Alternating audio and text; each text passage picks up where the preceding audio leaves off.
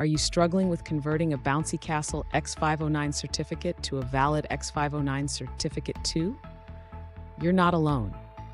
This is a common issue many developers face, especially when dealing with ASN1 encoding. I understand how frustrating it can be when you encounter exceptions like index was out of range or unable to decode certificate.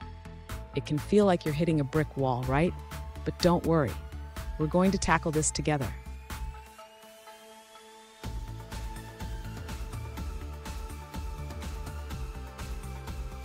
Here's the specific situation we're addressing.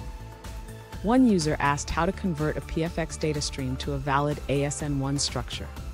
They provided some code snippets and mentioned they were using Xamarin PCL with .NET Standard 1.3. Sound familiar? Let's dive into the details. The issue arises from the mono implementation of ASN1, which doesn't support undefined length encoding. This can lead to exceptions when trying to create an X509 certificate 2 from the raw data. Understanding this is crucial for finding a solution. Stay with me. By the end of this video, you'll have a clear solution to convert your PFX data stream without running into those pesky exceptions. To address the issue with the undefined length ASN1 encoding, the user should first utilize the PKCS12 Utilities class from Bouncy Castle. This class provides a method to convert the PKCS12 data to a definite length format. Next, the user should write the converted data back to a file. This step is crucial as it prepares the data for the X509 Certificate 2 constructor. After saving the data, the user can now attempt to create the X509 Certificate 2 object using the newly saved file. This should resolve the previous exceptions related to undefined length encoding. If the user encounters a new exception stating that the, that the input data cannot be coded as a valid certificate, they should ensure that the data being passed is indeed valid and correctly formatted. Finally, if the user still faces issues, they can consider using the X509 certificate from Bouncy Castle directly. But note that this will not include the private key.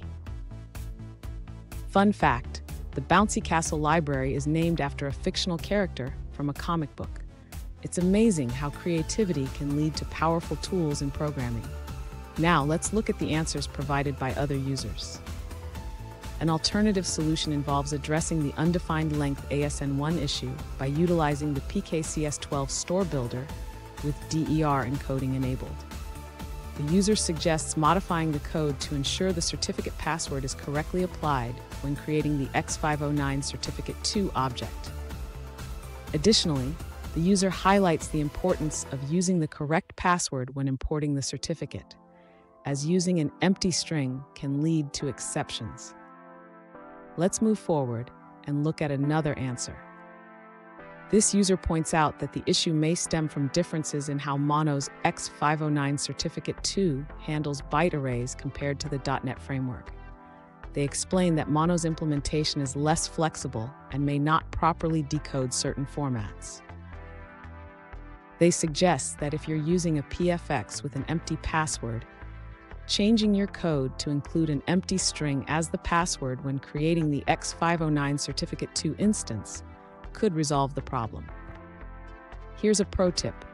Always check the encoding type when working with certificates. This can save you a lot of headaches down the line. And there you have it.